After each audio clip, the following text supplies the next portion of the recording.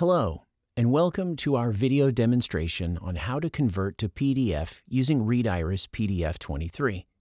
With ReadIris, you can convert documents to high-quality PDFs in just a few clicks.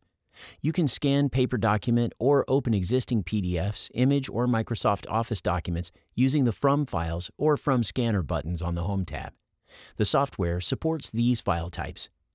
With the document open in the ReadIris, the Quick Convert buttons on the Home tab can be used to output immediately to the desired format. However, there are additional options that you can set for the format that you're using. Those options are found on the Convert tab and govern what options the Quick Convert buttons will use. Let's first go to the Convert tab and set the save location on your computer by clicking the Local button and select the save location on the right. There are three PDF output types PDF, compressed, and PDF/A archive format. These are all searchable unless you choose a different PDF type such as PDF image accessed on the Convert tab. The compressed and PDF/A are exclusive to the business and enterprise versions of the software.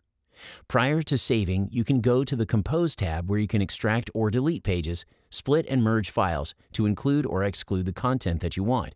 The order of pages can also be adjusted. To save your document, click on the PDF button on the Home tab or the Save button on the Convert tab to begin the processing.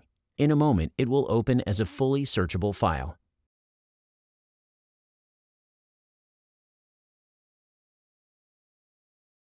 See us on social media and be sure to visit and subscribe to our Iris Link YouTube channel for additional videos for this and our other products.